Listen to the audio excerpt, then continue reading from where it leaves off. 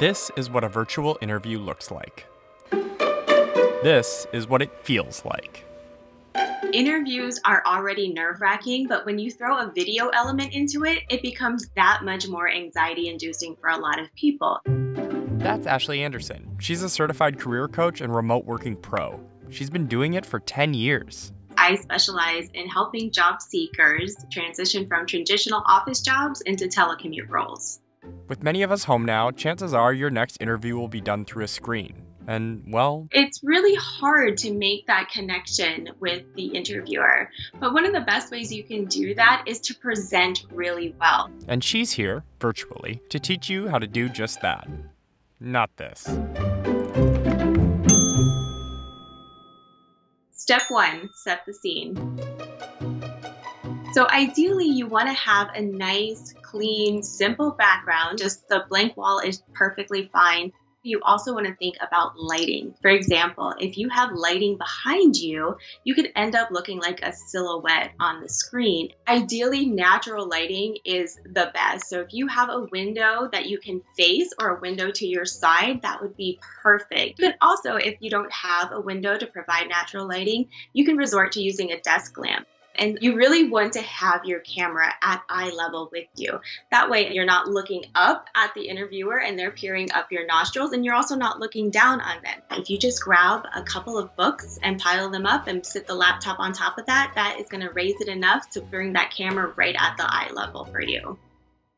Step two plan your outfit do a little bit of research about the company so you know what their culture is going into it. You don't want to show up to your virtual interview in a really nice suit if they're a very casual company. Keep your your ensemble really basic. Don't go for really busy patterns and try to stay away from solid colors that are really bright as those can kind of wash you out on screen so you might not necessarily consider your headphones as being an accessory or part of your everyday outfit, but it's something that you definitely need to consider not using when you are getting prepared for a remote interview.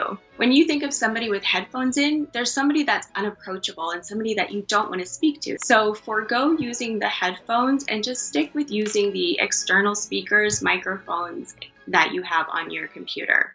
Hello, hello, hello. Step three, test your tech making sure that your webcam is working, your speakers are working. Hi, this is a test. And another super, super important thing is your internet. You really need to make sure you have enough internet speed. Generally speaking, programs like Zoom prefer 1.8 megabits per second in order to stream a one on one video call. And you can easily test your internet speed going on Google and just typing speed test, and you'll get tons of different options. If you're relying on Wi-Fi, that's kind of a little um, inconsistent with the connectivity. You can always just invest in an Ethernet cable, plug that directly into your computer and into your modem, and you're going to have a much more stable internet connection. Step four is practice. Hey.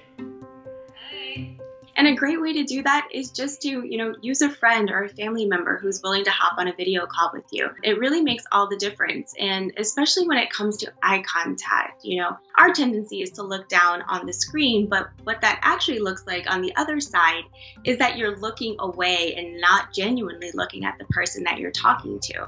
So it's always important to practice and look directly into the camera. If you get easily distracted by your own image on the screen, a really really simple thing you can do to avoid that is just use a post-it note and cover up your own image. That way you're not going to be distracted by it and it's out of sight and out of mind.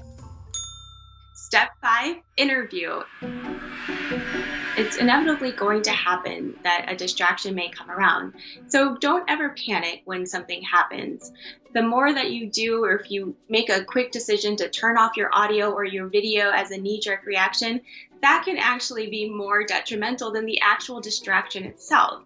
But if it does cause the interviewer to get interrupted with what they're doing, you definitely want to address it and not pretend like it didn't happen. You want to make sure that you're able to say, oh, my bad, that happened, and, and move forward after that. When you're at home, even when you're on an interview, you kind of have that more casual atmosphere than actually going into an office building to interview. And with that casual feeling, you might end up doing something that you wouldn't even think of in a, an office setting. For example, having your phone out So just turn it off and put it out of sight.